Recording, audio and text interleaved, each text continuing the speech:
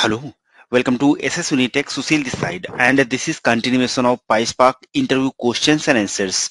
So recently one of my friend has attended interview in one of the MNC. So this question was asked there. So interviewer want to understand about the partition by and how the internally partition by is working.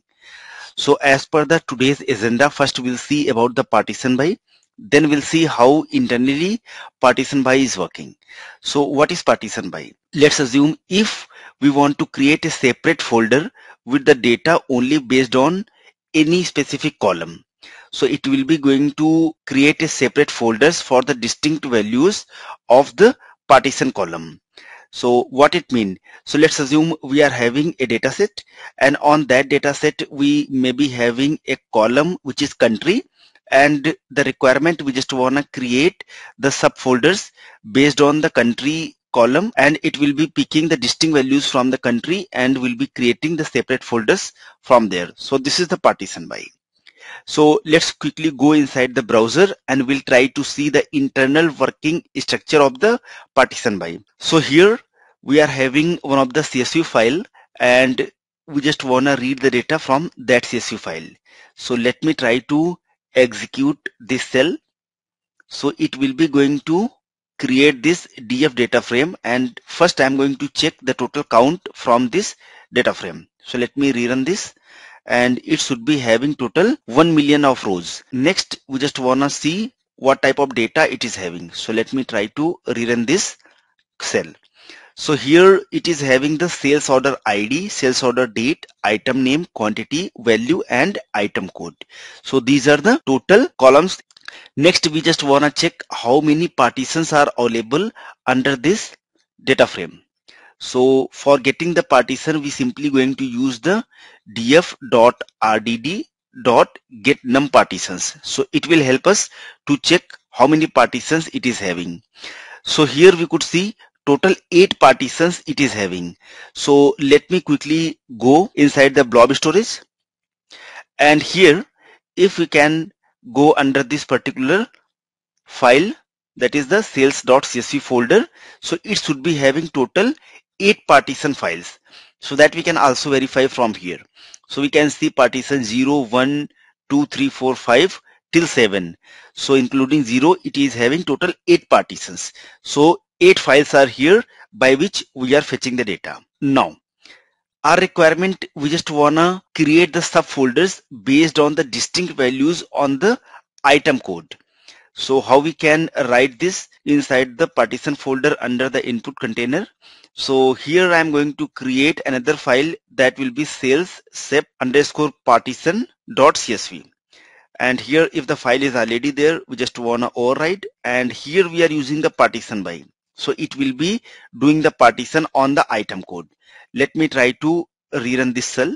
So it will be going to generate those many partitions. So here job is executed successfully.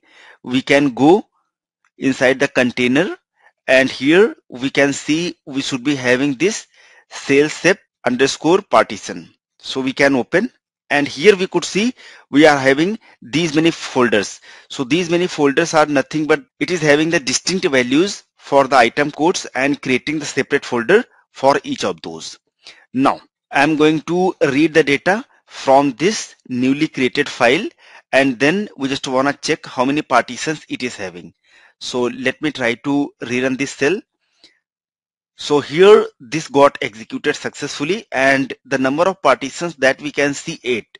So on the file level, nothing has been changed. So here if I am going to open the first item code, then here we can see we are having only a single file that was already available earlier that is having the values for this H01 and here only this file is containing the information for this item code.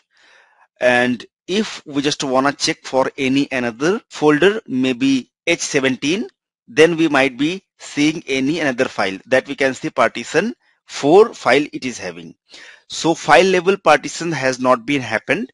It is only done the partition on the folder it has created the folders and the partition will remain same now next i am going to create the partition on the file level. So here the partition has been happened on the folder level. It has created the folders, but files remain same. Now, if you wanna create the partitions on the file level, then we should be going to use the repartition.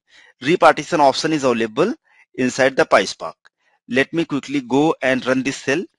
So this got executed successfully and here let me try to check how many partitions it is having now. So it should be having 100 partitions that we can see. It means the file, those were available earlier that was having total 8 files. Now it is having total 100 files. Now let me try to write this data into sales sep underscore repartition csv file. Let me try to execute this cell. So it should be going to create the file and that file should be having total 100 files under that. So let me quickly go inside the partition folder and here we can go on this repartition.